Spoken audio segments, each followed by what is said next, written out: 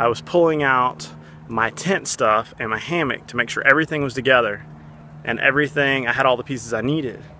And I was like, man, this tent rainfly looks perfect for a hammock.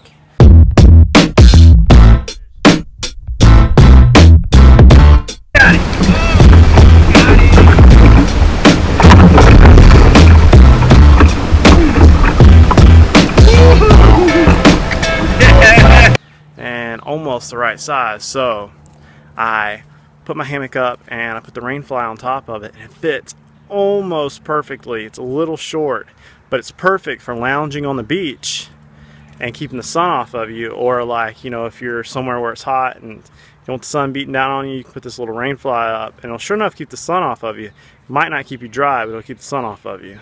So here's the setup that I grabbed, all right? So I got my hammock set up. You know, I know it's not set up correctly. This is just for show. And I grabbed this rainfly. See, it's just a Coleman rainfly. And I just wanted to make see if it was long enough to stretch from that end of the hammock to that end of the hammock, which it does real nicely. This is a three-person Coleman tent. Kind of get from Walmart. That's the top off of it. So the four-person would probably fit perfect. But, uh, you know, like I said, it's not for torrential down, downpours, but it'll keep the sun off of you for sure. And it's got these little things right here that you can hook. See if you can see this. It's got these little Velcro pieces on here for going around the tent poles. And it goes around the, it goes around your center line perfectly. Check that out kind of keeps a little more together.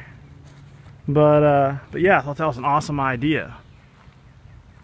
I feel like I'm full of awesome ideas today. And this seems like this is gonna work. I'm gonna keep it because this rolls up really small and it will fit actually in the hammock bag. Whereas like my tarp that I have for this thing won't. It's like this big rolled up bag, you know. But this I can just keep if I need a little sunshade. Boom, got it.